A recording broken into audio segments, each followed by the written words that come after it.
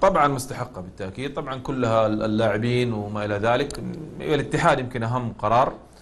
كان اللي بالتأكيد كان القرار جدا. يعني ك- كأول شيء كان على البلوي صحيح؟ حامد كان ردة فعل البيان اللي أصدر نادي الاتحاد ردة فعل على إيقاف حامد البلوي.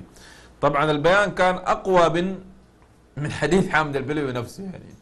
قد نختلف نتفق على حديث حامد البلوي ولكن بالتأكيد الكل متفق على آه، يعني قسوة آه، العبارات في بيان نادي الاتحاد. حقيقة كان كانت جدا قوية وقاسية. أنت هنا لما بتتكلم بتتكلم على لجنة قضائية وبترد عليها بشكل رسمي. أنت بتشوف ردود فعل الجمهور على أي قرار قضائي كجم- كجمهور عادي في ال social media.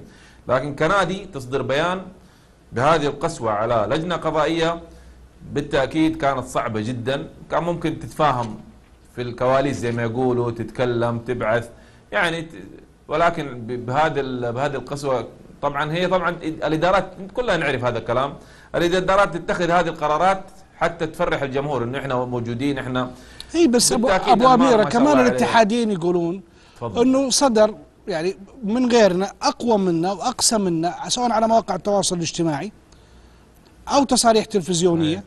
يعني أتكلم عن نادي الشباب ونادي النصر تحديدا. طلعت حديث كابتن مسلم الأستاذ مسلم معمر وحديث الأستاذ طلال الشيخ.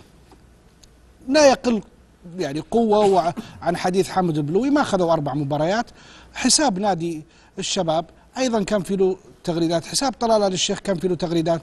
الاتحادين يطرحون هذا التساؤل مش أسئلتي أنا يطرحون. هذا أنا- التساؤل. أنا أنا شوف أنا يمكن ممتاز. أنا يمكن لما تكلمت قلت لك حامد البلوي قد نختلف قد نتفق صحيح؟ لكن البيان لا.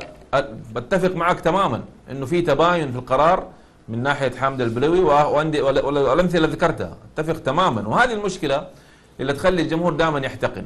ليه تسوي هنا كذا وهنا كذا؟ مع إنه الحالات متشابهة. هو واضح جدا إنه يعني حامد ما شاء الله عليه طبعا هو في كل مباراة متحمس ويقوم ويتكلم.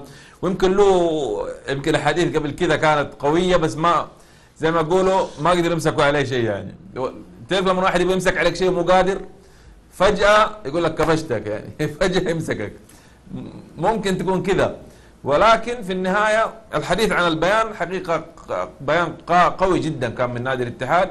واعتقد انه يستحق يعني انه يكون عليه غرامات أو ما إلى ذلك أو عقاب. لكن حامد البلوي اتفق معك بوجود تماما في انه في حالات أخرى كانت مثلها ويمكن اقوى ولم يتخذ القرار الم- الم- المشابه. لهذا لهذا دائما نحن نتكلم في هذا الموضوع.